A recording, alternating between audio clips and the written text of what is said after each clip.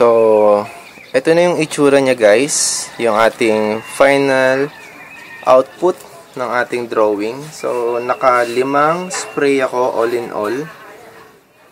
Yan. Kung papansin niyo meron siyang parang gloss or parang kintab-kintab. Yan o. Oh.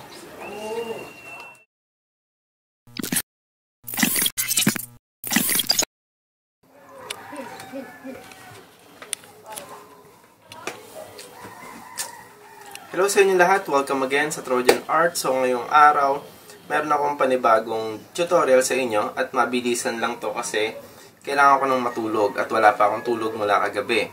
So meron ako dito kasing artwork na ginawa. Sinimulan ko siya ng 10 o'clock ng gabi at ngayon ay 6 o'clock na ng umaga. No? Ngayon kasi ito kukunin. So bago natin siya ibigay, gusto natin siguradong uh, uh, protected or as in smudge free yung ating drawing para hindi nagkakalat yung mga charcoal, mahawak-hawakan man niya accidentally o kaya naman eh, itago niya to sa kung saan man uh, masisigurado natin na hindi masisira yung pinaka-itsura ng ating drawing. Okay, although alam ko namang if frame niya to, lalagyan niya to ng protection kapag ilalagay na sa pader. Pero syempre, personally as an artist gusto natin alam nating uh, siguradong tatagal yung ating drawing. Okay? So, magagawa natin yon kapag naglagay tayo ng tinatawag na fixative. So, yung binili kong brand ay Kellogg's. Marami pang brand na mapipili kayo sa tindahan. Pero ito yung nakita ko kasi, no? Okay naman yung quality ng brand na to.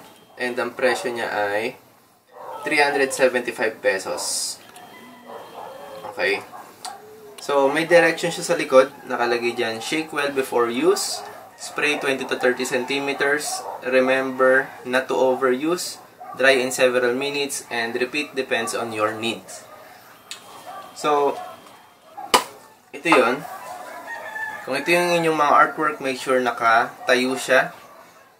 And then, kapag mag spray kayo, itong lata na to ay 30 centimeters na. So, ito na rin mismo yung layo. So, ganyan. So, since do not overuse daw, mag-spray lang kayo sa taas, sa gitna, at sa baba. Then after nun, patuyuin nyo na siya ng ilang minuto, tsaka nyo na lang siya sprayin ulit pag tuyo na. So ulit-ulitin nyo lang yun hanggang sa tingin nyo uh, kailangan nyo pang protectionan yung inyong drawing. Okay? Kasi kapag isa or dalawa lang, kulang yun, no? Pagka ginanan nyo or hinawakan nyo yung inyong mga drawing, kakapit at kakapit pa rin siya sa inyong daliri.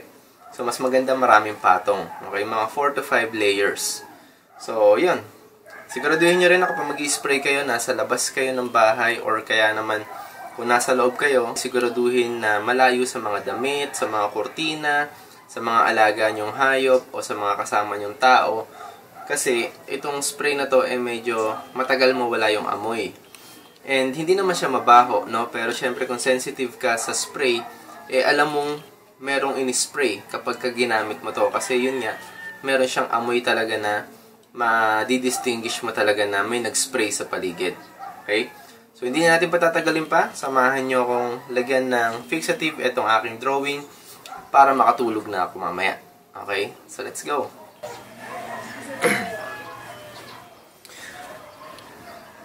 so, okay. Andito na ako ngayon sa terrace, sa labas ng bahay. So, nakikita nyo naman yung background ko, no? So, dito ko ngayon i-sprayan itong ating drawing para walang masyadong uh, makaamoy. Okay? Or mawala agad yung amoy ng spray. So, again, i-position nyo lang yung mga drawings nyo ng patayo.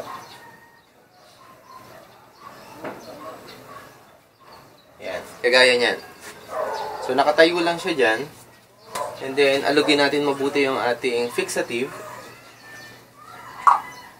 Then, ang layo niya is 20 to 30 centimeters daw, no? So, ito lang yan. Then, mag-spray na ako.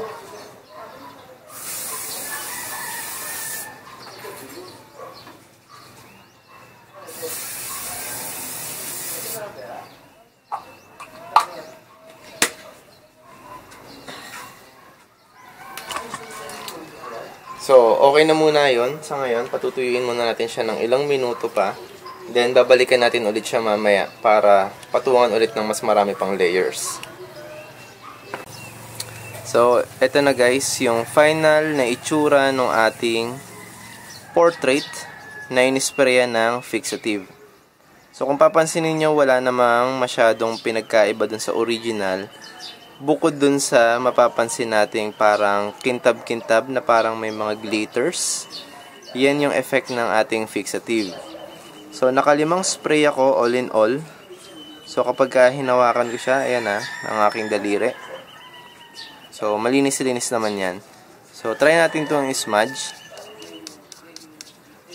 And then tignan nyo yung aking daliri. Yan. So, walang masyadong kumapit, tama? Meron, konti lang, pero syempre, hindi naman natin yan kukud ko rin ng sobrang lakas. Yan.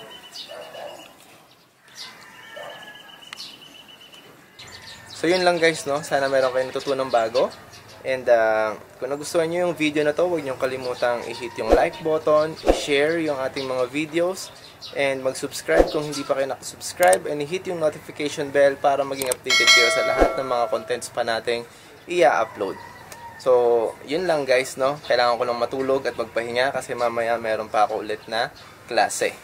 So, yun lang. Keep safe and God bless.